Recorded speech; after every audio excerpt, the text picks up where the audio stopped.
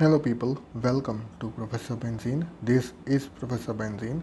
Today we are discussing the second part of the solutions to NCERT questions of the fourth chapter for class 10th chemistry, carbon and its compounds. In this video we will discuss solutions to in-text exercises and exercise questions. So let's begin. First question is, why is the conversion of ethanol to ethanoic acid an oxidation reaction? Ethanol से ethanoic acid बनाना oxidation reaction क्यों है two O H add oxygen to give CH3COOH ethanol से ethanoic बना since the conversion of ethanol to ethanoic acid involves the addition of oxygen to ethanol it is an oxidation reaction अब क्योंकि oxygen add हो रहा है ethane ethanol में O OH में और ओ एच बन रहा है इथेनोइक एसिड इसलिए it is an oxidation reaction A mixture of oxygen and ethine is burnt for welding. Can you tell why a mixture of ethine and air is not used? मतलब oxygen के साथ burning हो रही है ethyne की for welding not air why तो two H C triple bond C H plus five O two will give four C O two plus two H two O plus heat ये reaction occur हो रहा है अब यहाँ पे when ethyne is point with air it gives a sooty flame. This is due to incomplete combustion caused by limiting supply of air. However, if ethane is burnt with oxygen, it gives a clean flame with temperature of 3000 degrees centigrade because of complete combustion. This oxyacetylene flame is used for welding. It is not possible to attain such high temperature without mixing oxygen. This is the reason why mixing of ethane and air is not used. एक तो air use करने पे जो है, हमें मिलेगा sooty flame ठीक? और सेकेंड लिमिटेड सप्लाई होने पर टेम्परेचर उतना हाई नहीं होता है प्योर ऑक्सीजन होने पर 3000 डिग्री सेंटीग्रेड तक टेम्परेचर बनता है, जिससे कि फ्लेम प्रोड्यूस होती है which is use for welding इसलिए we use oxygen instead of air next how would you distinguish experimentally between alcohol and carboxylic acid alcohol और कपॉक्सिक एसिड कंपाउंड्स में डिफ्रेंशिएट कैसे करेंगे? By experiment we can distinguish between an alcohol and carboxylic acid on the basis of their reaction with carbonates and hydrogen carbonates acid react with carbonate and hydrogen carbonate to evolve C O two gas that turns lime water milky so metal carbonate और metal hydrogen carbonate will react with carboxylic acid to form salt plus water plus carbon dioxide alcohols on the other hand do not react with carbonates and hydrogen carbonates तो जो acid है carboxylic acid that will react with metal carbonate और metal hydrogen carbonate to produce C two और जो C है that will turn lime water milky तो अगर जो लाइम वाटर है, वो मिल्की हो जाता है so we know that C O two has been produced वो प्रोड्यूस कब होगा? जब मेटल कार्बोनेट या मेटल हाइड्रोजन कार्बोनेट जो है, वो कार्बोक्सिलिक एसिड से रिएक्ट करेगा। लेकिन अगर कार्बोक्सिलिक एसिड की जगह रिएक्शन जो है वो अल्कोहल से होगा तो उस केस में प्रोड्यूस नहीं होगा। कुछ भी प्रोड्यूस नहीं हो रहा है।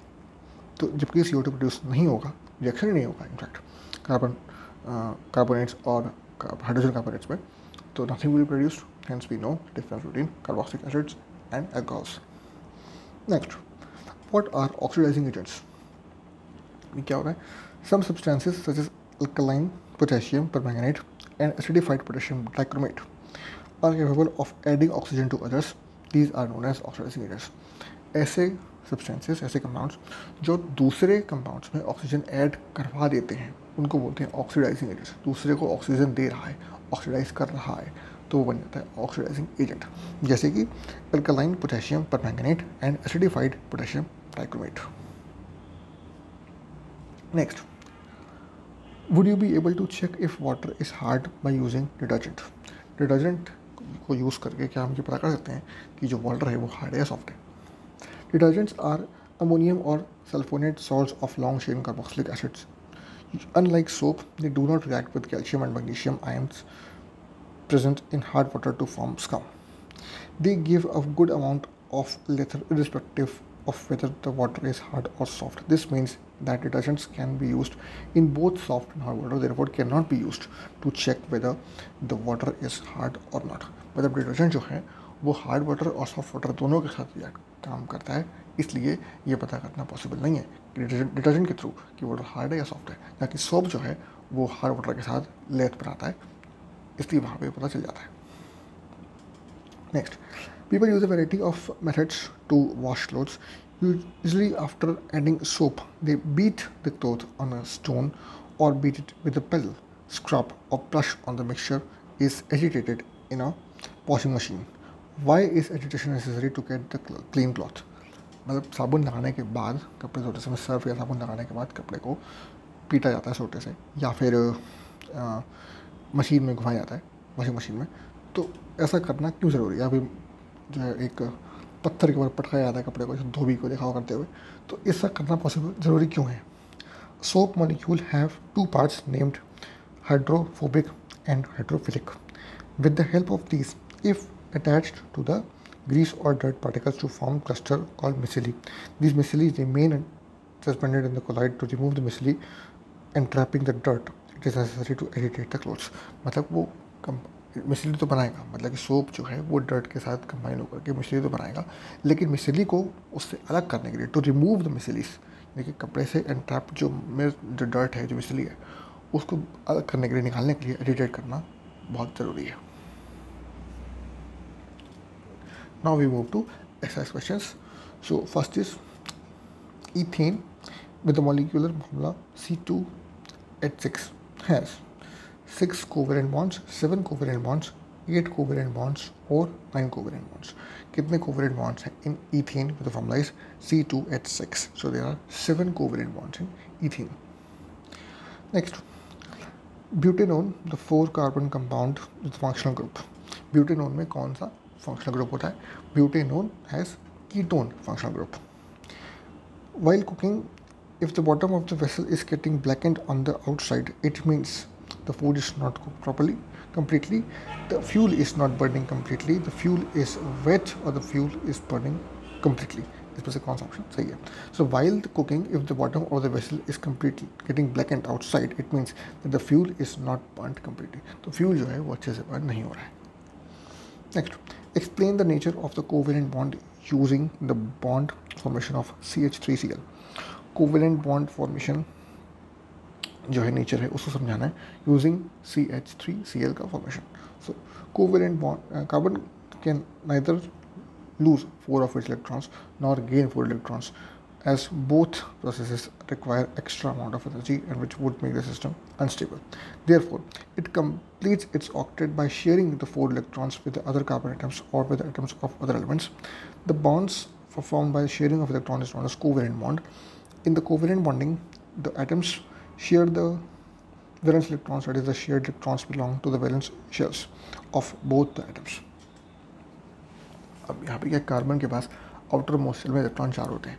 ना तो चारों लूज़ करेगा ना तो चार गेन करेगा। स्टेबल तो उसको भी होना है। चारों लूज़ करेगा चारों गेन करेगा उसके लिए एनर्जी रिक्वायर्ड बहुत ज़्यादा है जिससे कि सिस्टम अनस्टेबल हो जाता है।